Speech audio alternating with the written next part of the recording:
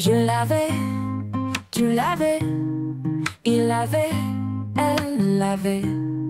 Nous l'avions, vous l'aviez, il l'avait, elle l'avait. C'est le verbe laver à.